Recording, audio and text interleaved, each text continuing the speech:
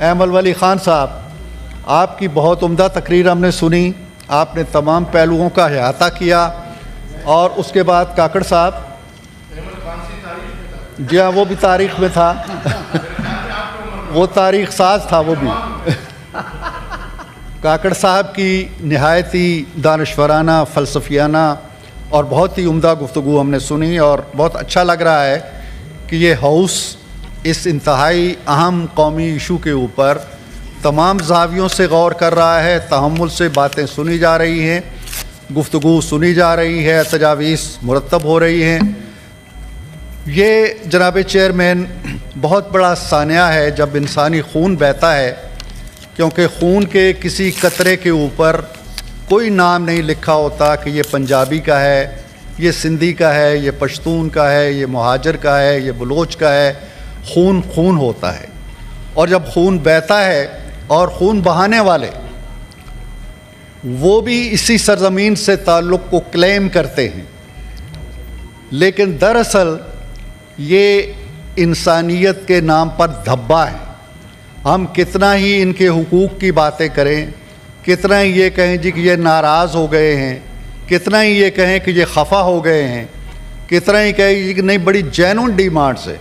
कोई जैनुन डिमांड वो नहीं होती जो आपको हथियार उठाने पे मजबूर करती है दूसरों को कत्ल करने पे मजबूर करती है दूसरों को आ, उनकी उनकी शनाख्त के हवाले से मारने पे मजबूर करती है।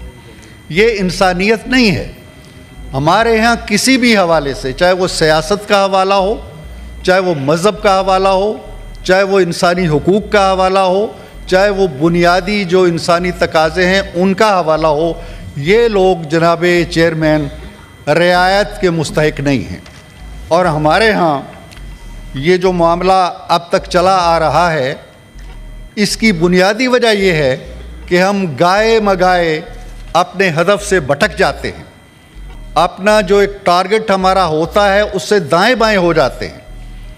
हदफ हमारा ये होना चाहिए कि वो सोच और वो तर्ज अमल और वो तरीक़ाकार जो दहशत गर्दी की तकरीब कारी की इस भट्टी को भड़काता है, उसका कला कमा हम कैसे करें?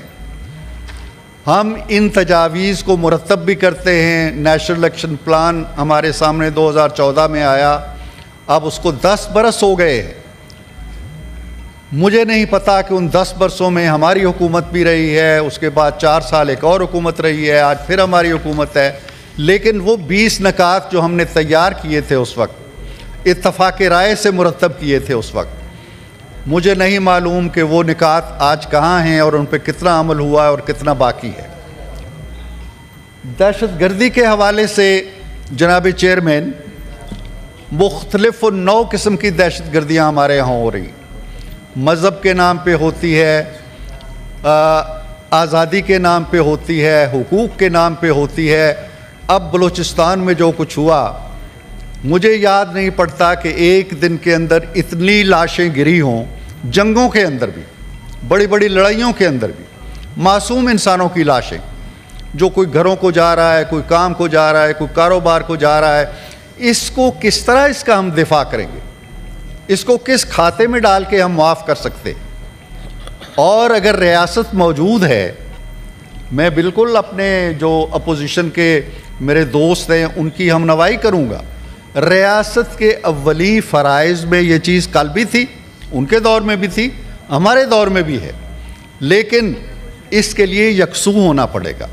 इसके लिए दाएँ बाएँ की तमीज़ उठाना पड़ेगी। जिस तरह 2014 के अंदर, पिशावर के इंसिडेंट के बाद हम सब मिल बैठे। मुझे याद है, मैं ख़ुद उस मीटिंग के अंदर मौजूद था एपीसी के अंदर। जिसमें इमरान खान साहब भी थे, बाकी तमाम जमातें थीं और सबने उसमें हिस्सा लिया, हमारी हुकूमत थी। एक नेशनल एक्शन प्लान तैयार हुआ। वो प्लान आज एक ख्वाब ख्याल बन चुका है। हमें नहीं मालूम कि उसके कितने खदोखाल जो हैं, उन पर हमने कोई अमल किया है या आगे बढ़े हैं या पीछे हटे। होता ये है कि जब ये लोग अपनी कार्रवाइयाँ करते हैं, खून गिरता है, लाशें गिरती हैं तो हमारे अंदर एक तहरुक पैदा होता है। हमारे अंदर एक जज्बा पैदा होता है। हम दहशत गर्दी के ख़ात्मे के लिए बड़े मुतरक होते हैं, जैसे मेरे कोलीग सुबह अपने जोशो जज्बे का बजा तौर पर इजहार कर रहे थे। हम सब चाहते हैं कि इनका इंतकाम लें। हम सब चाहते हैं कि जिन्होंने हमारे प्यारों का खून किया है, हम उनकी भी लाशें देखें।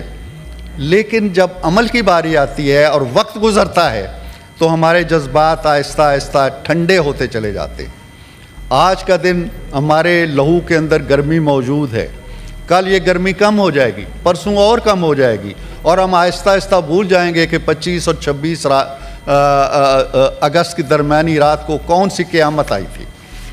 तो जनाब चेयरमैन इसके लिए एक मुश्तरका हमत अमली की ज़रूरत है।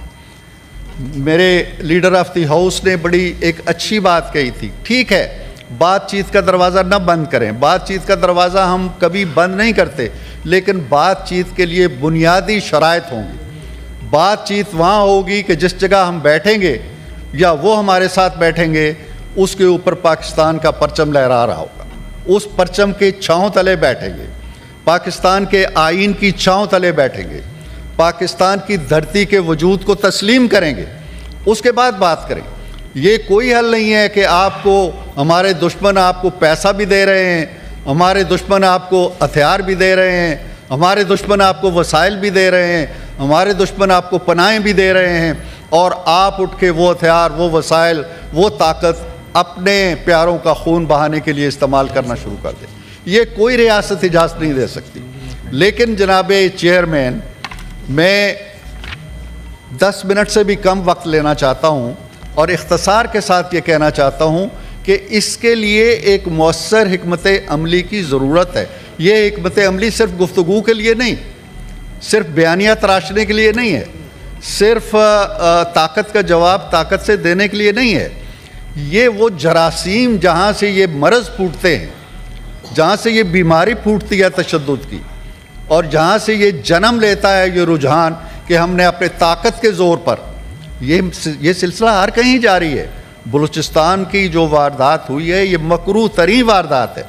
लेकिन क्या पंजाब में नहीं है? पंजाब में ताकत के ज़ोर पर जत्थे जो हैं, वो अपनी बात नहीं मनवाते हैं। मनवाते हैं। हमसे भी मनवाते हैं बड़े बड़े इदारों से भी मनवा लेते हैं। पख्तूनख्वा के अंदर हो रहा है, सिंध के अंदर हो रहा है। तो ये एक कौमी मरज़ है, कौमी तर्ज फ़िक्र माँगता है, कौमी प्लानिंग माँगता है, कौमी कमिटमेंट माँगता है। इसलिए बहुत ही अच्छा होगा कि आप ये जो वफाक की अलामत इदारा है, ये जो वफाक की अलामत हमारा ये ऐवान है, इसकी एक कमेटी बनाएँ, इस मामले पे गौर करें, फ़िक्र करें और काबिल अमल तजावीज़ मुरतब करें, जो हम हुकूमत को भी दें और ये सबकी नुमाइंदगी हो इसके अंदर। ये कोई पॉइंट स्कोरिंग नहीं होनी चाहिए। गलतियाँ हमसे भी शायद हुई होंगी, ये भी बहुत बड़ी गलती थी जिसकी तरफ़ अमल वली ने इशारा किया कि हमने हज़ारों लोगों को ला के आके बिठा दिया और जो जेलों में पड़े हुए थे उनके लिए भी दरवाज़े खोल दिए। हमें नहीं पता कि वो कहाँ हैं। वो क्या कर रहे हैं। अभी फैज़ हमीद साहब के हवाले से ये बातें आ रही हैं कि बहुत से वाक़ात के अंदर वो लोग भी मुलवस थे जिन्हें हमने आज़ाद किया था।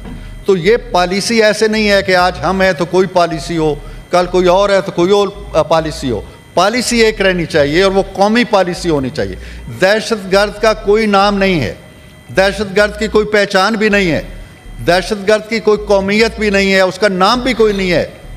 दहशत गर्द सिर्फ़ दहशत गर्द है। दहशत गर्द को, तकरीबकार को, कौमी सलामती को, ललकारने वाले को, बंदूक के ज़ोर पे अपने मुतालबात मनवाने वाले को हमें उसी सिक्के में जवाब देना होगा। और उसके साथ साथ एक ऐसा पूरा नक्श, हमारा सिलेबस बदलना होगा, हमारी दरसगाहों का तर्ज, तदरीस बदलना होगा, लोगों के जहन बदलने होंगे ज़रा अबलाग पे गौर करना होगा कि वो क्या कर रहे हैं, सोशल मीडिया को देखना होगा कि वो कितनी आग भड़का रहा है, ये ये कोई आसान मसला नहीं है, ये कौमी मुहिम के तौर पर हम लेंगे तो फिर बात आगे बढ़ेगी, फिर अच्छे नतज निकलेंगे, मेरा ख्याल ये है कि बहुत से अहबाब हैं, उन सबको मौका मिलना चाहिए, मैं आपका बहुत शुक्रगुज़ार हूँ इस इस आखिरी इल्तजा के साथ कि इस तरह के वाक़ात को हमें बहुत संजीदगी से लेना चाहिए और वक्ती तौर पर नहीं लेना चाहिए। हमारी ये आग जो आज दिलों में सुलग रही है, ये कम अज़ कम बहुत से दिनों तक ज़िंदा रहनी चाहिए। उस वक्त तक, जब तक हम कोई ठोस काबिल अमल तजावीज़ मुरतब करके इस हुकूमत की रहनुमाई नहीं करते। बहुत शुक्रिया। सेनेटर शारी रहमान साहब आप parliamentary leader Pakistan Peoples Party chairman साहब शुक्रिया। मुझे यहाँ से तनकीद की जा रही है मुझ पर कि आप दो मिनट तकरीर कीजिए। तो तो बिल्कुल बिल्कुल आप जैसे ही कहेंगे लेकिन मौजू बहुत संजीदा है और हम सब जितनी इसकी मजम्मत करें जो इस वक्त बलूचिस्तान में हुआ है वो कम है और ये बातें हम करते आए हैं, साल हर साल करते आए हैं। चेयरमैन साहब, आपने ख़ुद देखा है कि कितने अदवार में हमने कितने एक्शन प्लान बनाए, कितनी इस पर तकारीर की, कितनी इस पर मजम्मतें की, कितनी इज्तमाही दानिश इस्तेमाल हुई और कहाँ कहाँ हमने चाहे वो टीवी टॉक शोज़ हों, ऐवान हैं। और ये ऐवान सबसे बाला है तो फिर इस ऐवान की बात तो मुझे लगता है सुनी नहीं जाती अक्सर व बेशतर इन, इस हवाले से कि इस ऐवान ने बहुत मौसर तजावीज़ दी हैं दहशत गर्दी और ख़ास तौर से रियासत के ख़िलाफ़ जो दहशत गर्दी होती है और मुल्क के शहरीों के ख़िलाफ़ जो दहशत गर्दी होती है, जिस तरह इस वक्त बलूचिस्तान में हुई है, उस कस्म की दहशत गर्दी के ख़िलाफ़ जो वाज तौर पर सिंपल। दहशत गर्दी है इसमें कोई लगी लिपटी नहीं हो सकती। बहुत सी बातें की जा रही हैं कि जी आ, ये कोई एथनिक क्लेंसिंग थी और ये लासानियात की बुनियाद पर तशद हो रहा है। नहीं। ये प्लेन एंड सिंपल इसमें कोई दो राय नहीं है ये दहशत गर्दी है। और इसके लिए मैं समझती हूँ जो पार्लियामान ने बातें की हैं, पहले भी और तजावीज़ फराहम की हैं, कमेटियाँ बनाई हैं नेशनल सिक्योरिटी रेजोल्यूशंस पास किए हैं, सब कुछ किया है। सिटिंग्स की हैं सबके साथ बैठ के हमारी कौमी सतह के सिक्योरिटी एहलकारों से। और मुझे एक बात इस वक्त समझ आती है, क्योंकि बहुत अहम बातें की गई हैं, मैं उनको रिपीट नहीं करूँगी चेयरमैन साहब। हम सब जानते हैं कि दिल जलता है सबका। इसमें कि पाकिस्तान बार बार दहशत गर्दी की लपेट में आता है। लेकिन एक बात मैं आपसे ज़रूर कहूँ कि मुझे याद है, हम नेशनल असम्बली के फोरम में बैठे थे और वहाँ हम सब जॉइंट हमारा कोई सेशन हो रहा था पिछले साल में, और कोई आई थिंक ये पीटीआई की हुकूमत थी। मैं इस वक्त किसी पर फिंगर पॉइंटिंग नहीं कर रही हूँ। लेकिन वहाँ वाज तौर पर जब मैंने सवाल किया, एक तो सवाल कम हो रहे थे, मैंने वाज तौर पर सवाल किया कि दहशतगर्द कौन है? क्योंकि हमें नज़र आ रहा है जो सहूलतकारी एम एल भाई ने की थी, सेनेटर फाजिल ने की थी, हमें तो वो नज़र आ रही है। तो कुछ को आप ट्रांजिशन करना चाहते हैं इनटू सोसाइटी और ट्रांजिशन इनटू सोसाइटी तो एक ख़ास स्टैंडर्ड पे होता है, एक रेड लाइन होती है। वो डिस्कशन हो रहा था कि जी ये तो हमारे बच्चे हैं। अगर किसी को याद हो, आप लोग उसमें मीटिंग में होंगे, पार्लिमानी लीडर्स थे और कुछ और थे, हर पार्टी से तीन लोग थे, कि ये हमारे बच्चे हैं। तो एक्सक्यूज मी ये आपके बच्चे कैसे हैं? कल के बच्चे आज के दहशतगर्द बन गए ना। मैंने आपकी हुकूमत का नाम नहीं लिया, लेकिन तायद की गई थी कि कुछ अच्छे टेररिस्ट हैं और कुछ बुरे टेररिस्ट हैं। Now that is ridiculous and it's non negotiable there is no such thing as a good terrorist or a bad terrorist there is no such thing as a good Taliban or a bad Taliban there are only मैं तालिबान की भी बात नहीं करी रही हूँ। दहशतगर्द है जो हथियार उठा रहा है, रियासत के खिलाफ उठा रहा है और रियासत की मोनोपली जो वायलेंस पे होती है, उसको चैलेंज कर रहा है, वो किसी भी रियासत में, किसी भी मुल्क में दहशत गर्द करार दिया जाता है। अब चेयरमैन साहब, आप खुद जानते हैं पीपल्स पार्टी से मैं हूँ, हमारी खुद यहाँ शहादतें हुई हैं दहशत गर्दी के हवाले से। आपके बेटे खुद किडनैप हुए, पता नहीं कितने साल। दहशत गर्दों ने किया ना? इसमें तो कोई दो राय नहीं है। मोहतरमा की शहादत दहशत गर्दों ने की।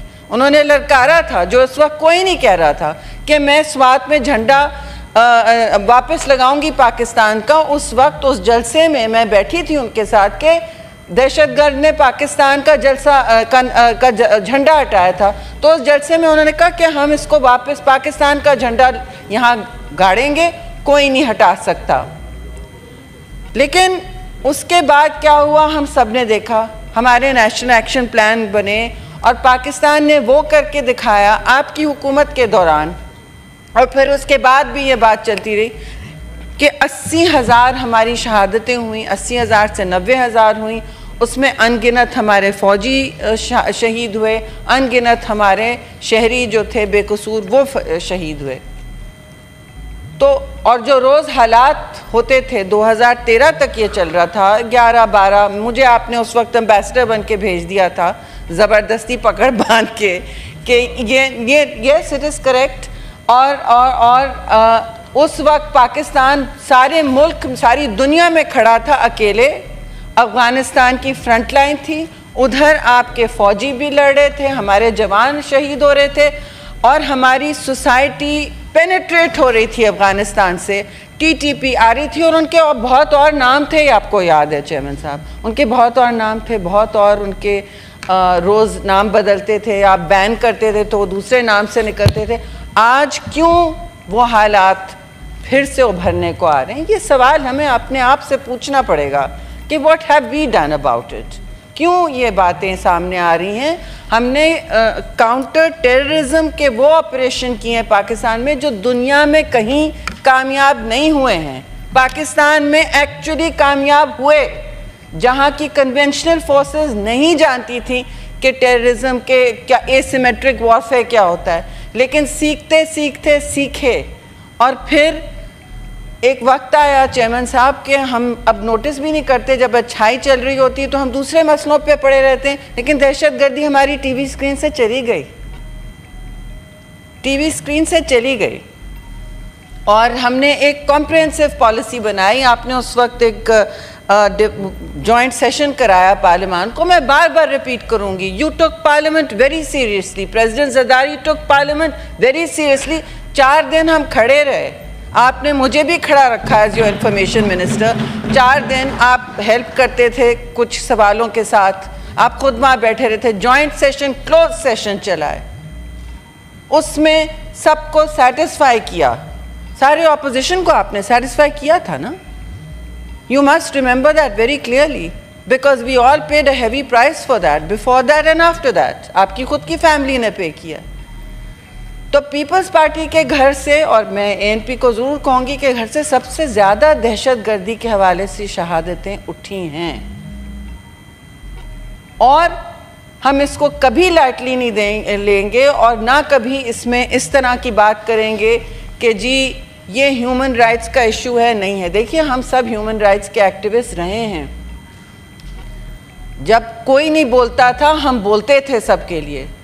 लेकिन जो माशरा आज बना है, मेरे फ़ोन पे आए हैं चेयरमैन साहब I wish I could share it with you इस वक्त कि बलूचिस्तान में जिस जिस कस्म की रेडिकलाइजेशन हुई है, और ये बहुत से इलाकों में हुई है, ये सिर्फ़ बलूचिस्तान की बात नहीं, बलूच मगर बलूचिस्तान का केस हमेशा से एक अलग केस रहा है। Let's not only confuse it with terrorism वो रहा है।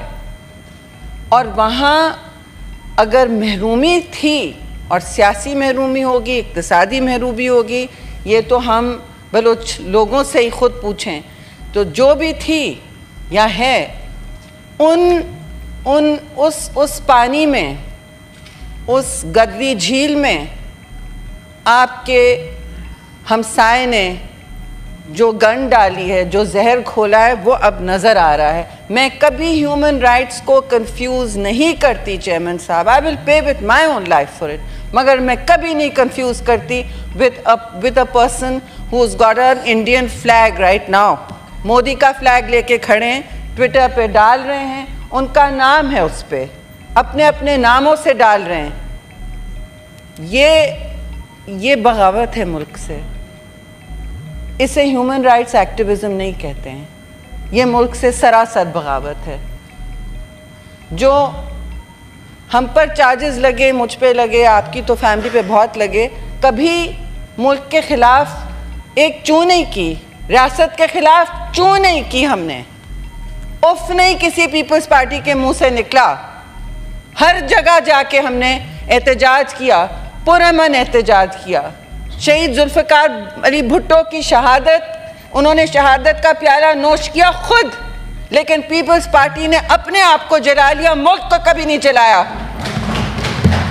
जरदारी साहब ने चौदह साल गुजार लिए प्रिजन में, लेकिन किसी को ये कहने नहीं दिया कि आप लोग बदतमीजी तक करेंगे पुलिस वाली से। इनके दौर में जब वो घर आए थे लेने तो उन्होंने कहा, पहले इनको चाय पिलाओ, तमाशा नहीं करो। आप बिल्कुल बिल्कुल जवाब ले लें, बीबी, आपको इस वक्त भी सियासत, मैं सियासत नहीं खेल रही हूँ आपके साथ। कोई नहीं। और सबको हक है सियासत करने का, सिर्फ़ आपको डंका लगाने का हक नहीं है। बोलना तो मैं भी आपको रुला सकती हूँ अभी, लेकिन ये वक्त नहीं है करने का। ये वक्त नहीं है करने का।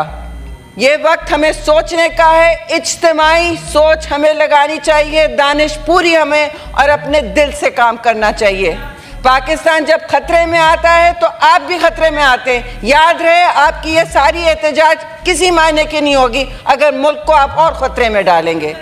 इस वक्त प्लीज़ आपको I am not addressing you I am not addressing you I am addressing the chair and I am saying chairman साहब things have gone too far we have to stop differentiating who is a good terrorist and bad terrorist there who is a good militant or who is a bad militant कोई डाकू हो या उसकी हमने सरपरस्ती नहीं की है। लेकिन कुछ अदवार में यहाँ पे मिलिटेंसी की जो सरपरस्ती हुई है, उसका भी मुझे जवाब चाहिए। उनका हो रहा होगा कोर्ट मार्शल मैं किसी, जब जब कोई जब कोई समबडी इज़ डाउन मैं कुछ नहीं कहती, लेकिन बात यह है कि वहाँ कहा गया था। मेरे तीन, चार सवालों पे कहा गया था कि सारे बैठे थे कि ये बच्चे हैं हमारे। तो वो बच्चे आपका आप क्या गुल खिला रहे हैं? तो ये बच्चे जो हैं, अब ये तय हो जाए कोई बच्चे नहीं हैं और कोई मिलिटेंट नहीं नया पैदा किया जाएगा to neutralise democratic forces also जो माजी में हुआ है। हमें अपने माजी से सीखना है और हमें याद रखना है कि पाकिस्तान ने वो काम किया है दहशत गर्दी के ख़िलाफ़ जो कोई मुल्क नहीं कर सका, इराक नहीं कर सका, अमेरिका नहीं कर सका, दो बीस साल बैठे रहे अफ़गानिस्तान में। और जो मैस है वो हमारे लिए छोड़ के गए हैं कि नहीं? छोड़ के गए हैं। They make no mistake about it और उसमें वो रिवॉल्विंग डोर टेररिस्ट का हम सब जानते हैं। तो हम अकेले बेशक खड़े होंगे, Pakistan is not isolated It is a responsible nuclear power. We can certainly deal with terrorists the way, Chairman Saab, we dealt with, 80, uh, with terrorists of 26 different groups in your term as Prime Minister. I remember every talking point, I remember every single time there was uh, uh, attacks. There were five attacks a day, very often, big ones. But we dealt with it. आपने इश्तहार चलवाए, रोज़ के दहशत गर्दी क्या है, इसका ख़ात्मा क्यों करना है? आपने पार्लियामान को इस्तेमाल किया, आपने सोसाइटी को मोबिलाइज किया, आपने सब कुछ किया।